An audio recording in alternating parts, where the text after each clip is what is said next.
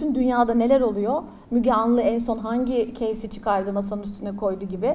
Bütün dünyayı çok takip etmek, çok yakinen Akdeniz Üniversitesi İletişim Fakültesi yeni bir etkinliğe ev sahipliği yaptı. Cruise kurucusu Ceren Coşkun Sağlam ve Uber reklam ajansı kurucusu Hande Arslan geleceğin reklamcılarıyla buluştu. Alt tarafı reklam değil etkinliği konferans salonundaki söyleşiyle başladı.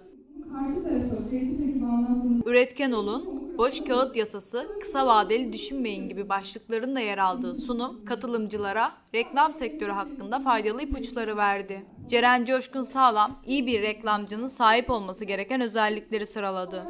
işte hikayeden dedik bak şunu şöyle yapabilirdin, bunu böyle yapabilirdin, böyle sunabilirdin, böyle sunabilirdin. Her şeyden az az bilmek bu özelliklerden biri.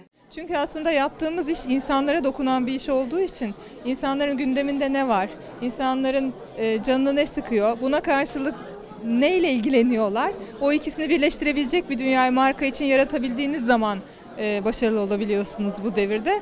Dolayısıyla onların hepsini azar azar takip etmek önemli. Yani tabii ki bir derinlemesine bilgi de çok kıymetli ama özellikle farklı markalara çalıştığımız için her bir seferinde yeniden yeniden dünyayı yeniden yazdığımız için bir sürü farklı kaynaktan beslenmek sizi daha dinç tutuyor.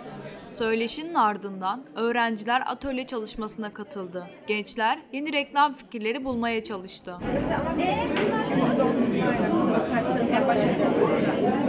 Valla öğrencilerle beraber olmak çok uzun zaman sonra bana çok iyi geldi. Yani yaklaşık bir e, 20 sene öncesine dönmüş gibi oldum. O manada gerçekten çok heyecan verici. Bir de öğrencilerde e, aslında çok ciddi bir şey hissettim. Yani böyle bir fikir bulma ya dönük olarak bakıldığında bir arzu, istek. Acaba nasıl buradan kendimi daha iyi ifade edebilirim? Bu marka ile ilgili şu anda bir workshop da yapıyoruz çünkü. Nasıl daha e, iyi ifade edebilirim? Nasıl iyi fikirler bulabilirim? gibi çaba da var. Bu bana iyi geldi çünkü aslında bakıldığında e, yeni nesilde hep Alt tarafı reklam değil etkinliği öğrencilerden de tam not aldı.